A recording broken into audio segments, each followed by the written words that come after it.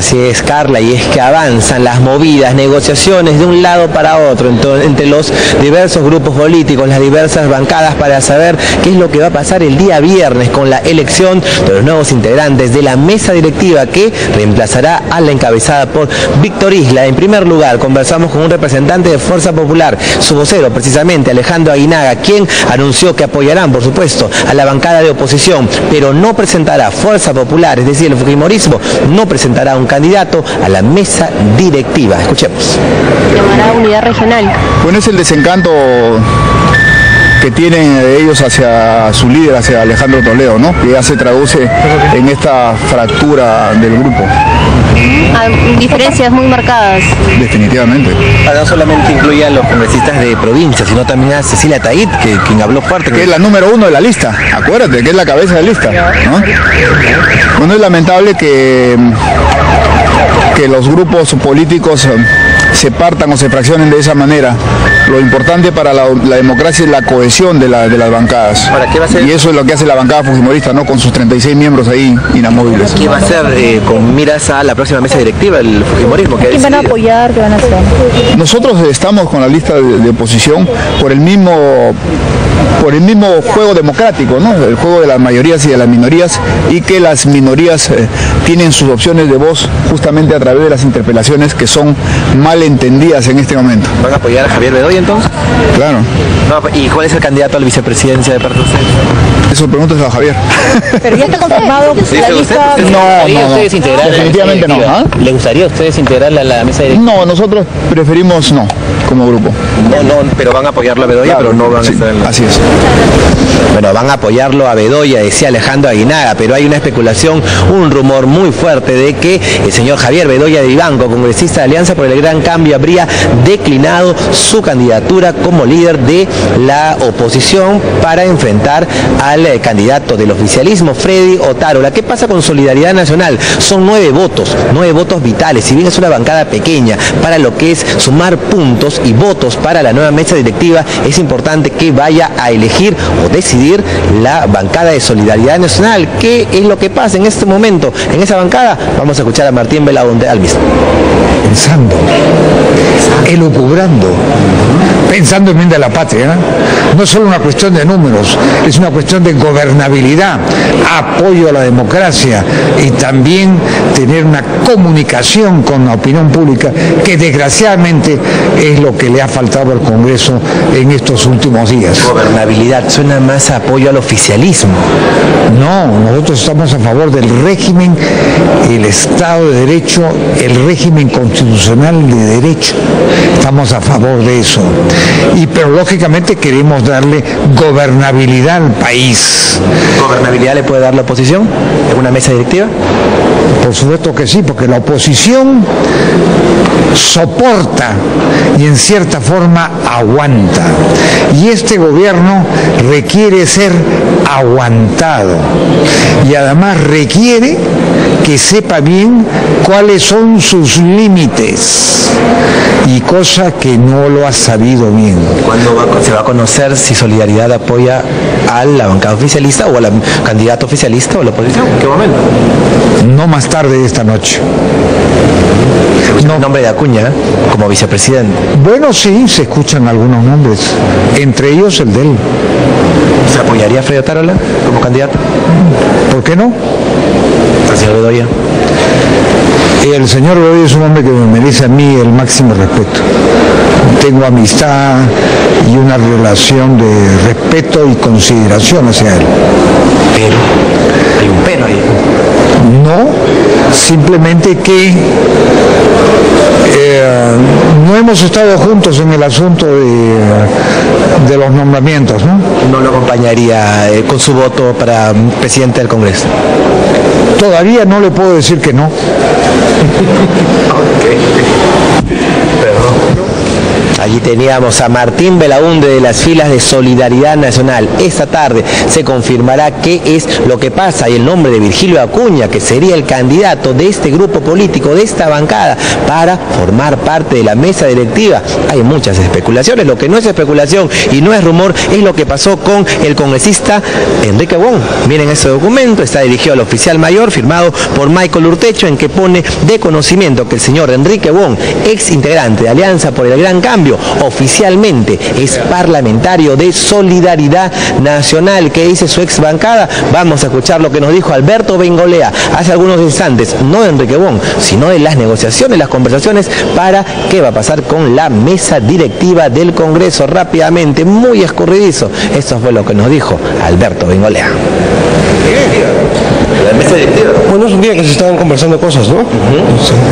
¿Se ha conocido que Javier Bedoya la candidatura ha declinado? Yo preferiría no decirte nada todavía hasta que no tenga cosas que contarte. Sí, pero es importante lo que es la mesa directiva. Lo que, lo que no puedo contarte, no puedo contártelo, no, no me pidas especular. Pero no, Javier Bedoya ha señalado que sí es el candidato y ahora se, se conoce de que No me pidas especular, no me pidas especular. Te, te- te pido por favor, deja, deja de estar importante, jodiendo. los- los votos Es importantísimo. Es importantísimo. Oye, disculpa que no, disculpa que no tenga más respuestas ahora. ¿A qué hora tendrá respuesta? ¿A qué hora eh, la bancada tendrá respuesta? Termine, como no cuando se termine. Pero permíteme que estoy coordinando. Las correteaderas de un lado a otro. Teníamos a Alberto Bengolea, no dijo mucho, no dijo nada, no quiso ni siquiera confirmarnos la versión de lo que pasaría con Javier Bedoya de Ibanco. Habrá que esperar qué es lo que pasa más adelante. Conversamos también con el oficialismo. Ana María Solórzano ve con buenos ojos, por supuesto, la candidatura de Carmen Omonte, la primera vicepresidencia, acompañando a Freddy Otaro. Le escuchemos. Como expresidenta de la Mesa de Mujeres Parlamentarias, muy contenta que una mujer eh, sea parte de la mesa directiva. Eh, creo que es importante también mantener la paridad y eso también se está demostrando el día de hoy en Palacio de Gobierno ante la juramentación de que ya sabemos que son ministras las que van a juramentar en pocos minutos. Felicitar públicamente y ante los medios a Carmen Omonte, eh, muy felices como las 28 congresistas que somos parlamentarias de tener a una mujer. Estoy seguro que justamente en estos días y en pocas horas se está armando la lista. Tenemos entendido también que el congresista Bedoya eh, habría declinado según nos comentan eh, y esperemos que las demás fuerzas apoyen a la gobernabilidad. Siempre se ha mantenido la mesa directiva a través de la bancada de gobierno, en este caso nuestra bancada de Gana Perú. Estos dos años los dos presidentes, tanto Daniela Bogotá como el presidente del Congreso, Víctor Isla, aún en funciones, han sido muy respetuosos del reglamento, han sido respetuosos de la democracia, han sido respetuosos de dar el derecho, obviamente, a los parlamentarios a que se expresen eh, en este Parlamento. Como ustedes saben, la democracia y siempre los votos son los que mandan. ¿Cómo analiza la baja en Gana en Perú posible? Cinco congresistas se han ido, incluido Cecilia Taí. Bueno, no sabemos los detalles ni los motivos, ellos quizás lo, lo manifiesten. Eh, he escuchado al congresista León que todavía no es formal algunas renuncias, simplemente especulaciones. Creo que es importante mantener la calma, en todo caso esperar la formalidad de estas renuncias para no adelantar juicio. En todo caso ellos tendrán sus motivos que expresarán también públicamente. No haya lista de oposición como demostrar, porque si el señor Bedoya ha declinado su candidatura, es posible que tal vez no haya una lista. Bueno, todavía nada está dicho, falta todavía eh, un día para que eh, presenten, puede aparecer a último minuto una lista y no podemos nosotros adelantar.